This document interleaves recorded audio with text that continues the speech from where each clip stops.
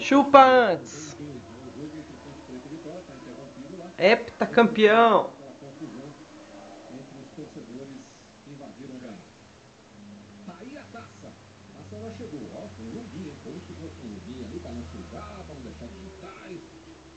E ali atrás estão trazendo ali as medalhas que serão entregues aos integrantes aí do Corinthians. Esse trouxe a própria taça, né? Essa família trouxe a pró- a própria taça, fabricada em casa. Ali garantiu uma, um cartazinho, né? obrigado pelo Papai Noel pelo 28º Paulista, pelo sétimo título brasileiro. E aí os jogadores, a comissão técnica, todos os integrantes aí do, do staff corintiano estão aí esperando o momento de concluir né, essa festa que começou no jogo contra o Fluminense quando o time venceu aqui por 3x1 e abriu a diferença de pontos que lhe garantiu o título.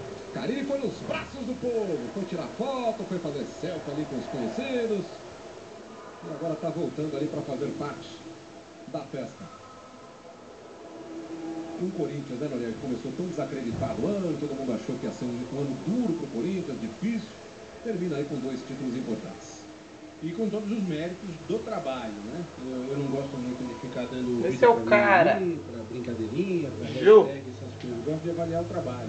Acho que o Corinthians trabalhou com absoluta competência, teve seus problemas no segundo turno do Campeonato Brasileiro, mas esses problemas, eles ficaram muito abaixo do que o Corinthians construiu no primeiro turno, que para mim, repito, já disse, o Corinthians ganhou o Campeonato Brasileiro de 2017 no primeiro turno, com aquela arrancada espetacular, uma campanha Campeão!